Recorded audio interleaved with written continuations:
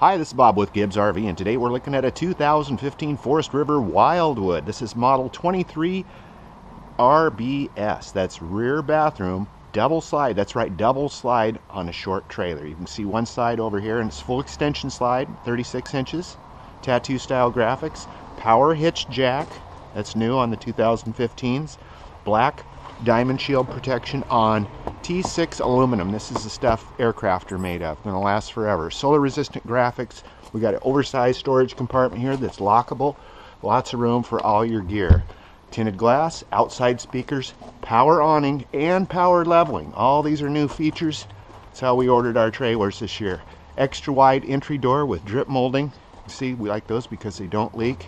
And of course, they uh, advertise the stabilizer jacks which you can run by the way with a remote control. You can level this, run the slides out, power the awning, all with a handheld remote.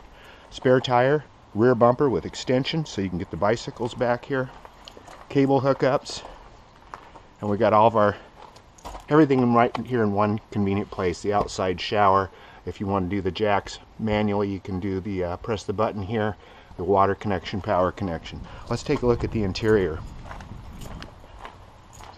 see what uh, bonus room you get with this double slide trailer.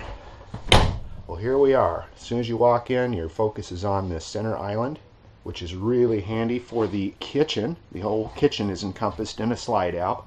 You've got storage underneath with built-in drawers.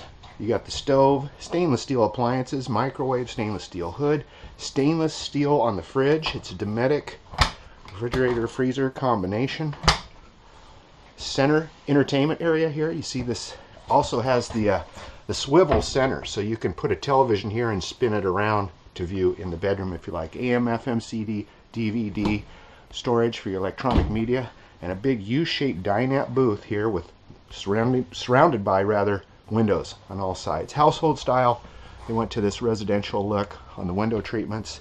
They blend right in with the throw cushions the upholstery. This, of course, makes into a bed, just dropping the table down. And, of course, we mentioned earlier, this is a rear bath, so you have a wooden door into, look at the size of this bathroom for a small trailer. It's pretty impressive.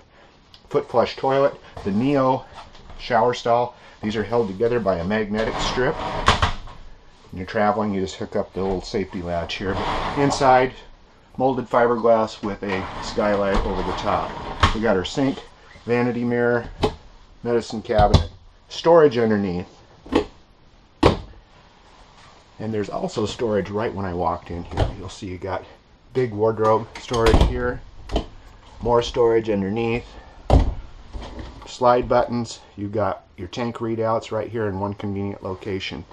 And up front, double doors, so you can enter this side or this side. We come to this side, rounded corners, come in our queen bed. There's the TV. If you have the doors shut, you can spin it around. Rounded in the front with storage over the top. We have mirrored closet doors on both sides.